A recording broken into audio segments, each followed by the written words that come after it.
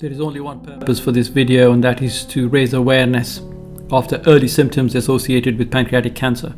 This is a deadly disease and if there is any chance of a cure then it is that the patients and the clinicians recognize these early symptoms and act on them and do the appropriate tests.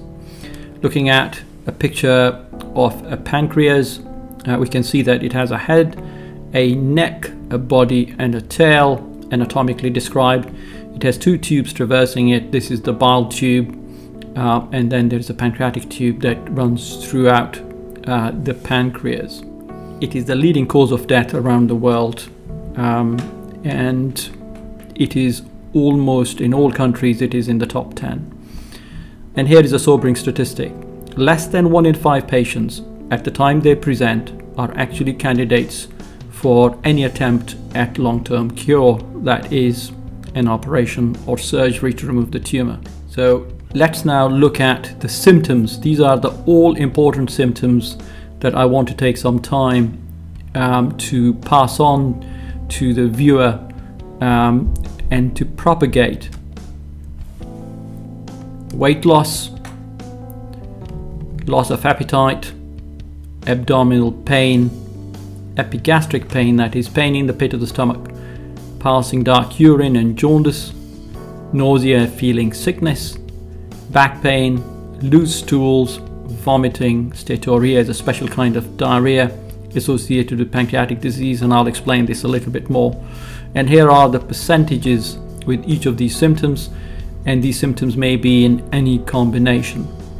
So I'm just going to pause for a bit uh, for the viewer to have another look at these symptoms and I'll explain a little, little bit more about why these come about and why the diagnosis is late. So let's now talk about the pain itself involved with that is associated with pancreatic cancer. It is slow onset and it may last for longer than a month and it is not uncommon for patients to have months and months of this pain.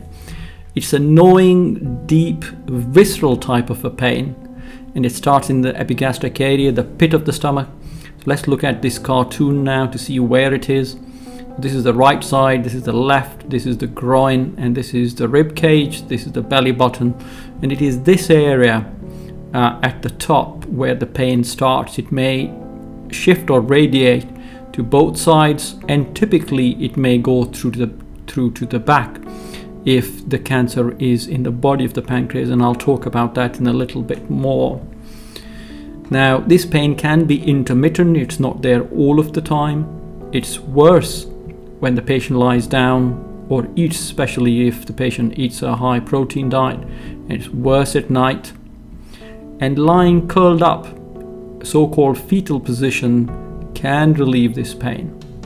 It may be associated with severe back pain, and sometimes pancre pancreatic cancer can set off pancreatitis because it obstructs the main pancreatic tube and this is quite a severe type of a pain. Um, and that usually uh, leads the patient to be admitted to the hospital. In this slide, we will examine the causes of the early symptoms of pancreatic cancer. So here's a cartoon drawing of the pancreas with the head of the pancreas, the neck, body, tail, the bile tube and the pancreas tube. Pain is one of the commonest features of pancreatic cancer.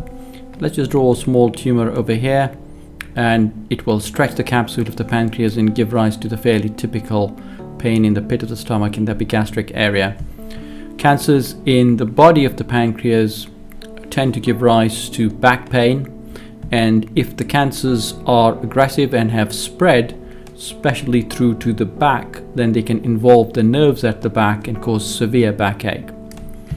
Jaundice arises when tumors impinge on the bile tube, causing the bile to pool up in the liver and spill over into the blood, and the bile cannot find a pathway through. Uh, the urine becomes quite dark, uh, and the skin becomes yellow, and the whites of the eye become yellow. Diabetes patients frequently become diabetic as a newly diagnosed condition or those with diabetes will experience worsening of the diabetes of their diabetes and that is because the islets that produce insulin are affected by pancreatic cancer it's it's a common finding uh, in pancreatic cancer the effect of the cancer on the diabetes. Why does diarrhea or steatorrhea arise? The tumors frequently block the passage of the pancreatic juice that digests the food, and by doing so, the food goes undigested, giving rise to foul smelling, pale looking um, stool, which is uh, associated with a fair bit of wind and it's difficult to flush away and is fatty. Pancreatitis may occur if the pancreatic tube is blocked. Uh, the rest of the pancreas may suddenly become very inflamed, giving rise to pancreatitis, which is a sudden onset severe upper abdominal pain. Now let's look at the commonly requested tests that are just not good enough in diagnosing pancreatic cancer. So here is a cartoon outline of the uh, of the organs within the abdomen including the pancreas. So here is the gullet, the stomach, the small bowel, the liver, the bile tube, pancreas at the back with a small tumor there, and the colon over here. So blood tests uh, will not show pancreatic cancer. Even the tumor marker will may indicate it, but is not diagnostic.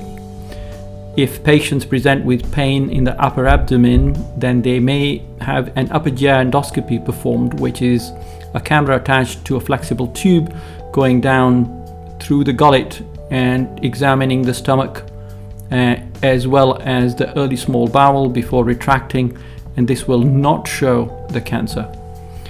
Uh, equally, if the patient has diarrhea, as I've described, then a colonoscopy may be requested and that is examining the colon with a flexible tube and a camera and this again will not show the cancer.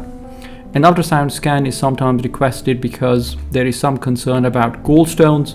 An ultrasound scanner uh, parked over here uh, will send sound waves down. The pancreas is an organ deep in the abdomen and with the overlying bowel an ultrasound scan is not usually a good device to assess the pancreas. So what is it that will help? And it is this. An early appropriate scan is needed to diagnose pancreatic cancer such as a CT or an MRI scan. So and I end this topic here in the hope rather than the belief that this has raised some awareness of these deadly symptoms and then motivate you and others to act on your or your loved one's behalf. If you have any comments, please do share these. Thank you.